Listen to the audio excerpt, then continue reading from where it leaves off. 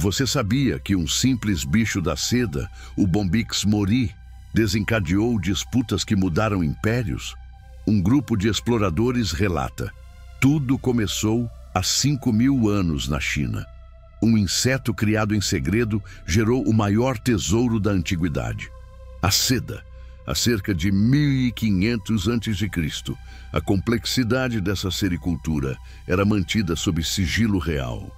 A seda chinesa virou símbolo de poder e riqueza e objeto de cobiça global.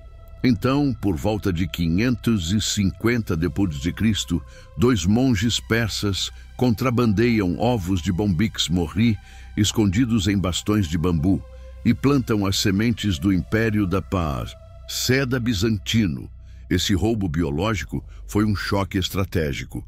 O segredo da seda escapou da China e Roma bizantina impôs seu monopólio, ameaçando rotas comerciais e tensionando impérios. Mas o conflito não parou aí. Nos séculos 19 e 20, uma doença chamada pébrine devastou os criadouros, derrubando a produção na Europa, forçando países como França e Itália a abandonar a sericultura.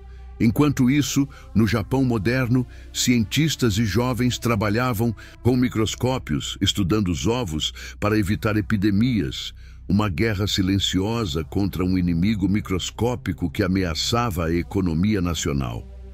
E hoje, o Bombix mori sofreu seleção humana intensa, perdeu as asas, não voa, não vive. Sem nós. Esse inseto é totalmente dependente, um artefato vivo de civilização.